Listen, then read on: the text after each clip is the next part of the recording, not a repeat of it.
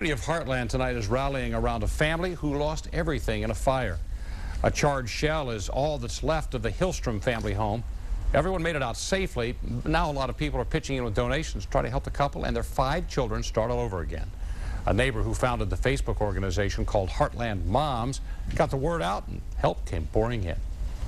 We got clothes and books, backpacks, um, school supplies, uh, coffee pot, uh, things that um, could comfort them right away while they're in their hotel room.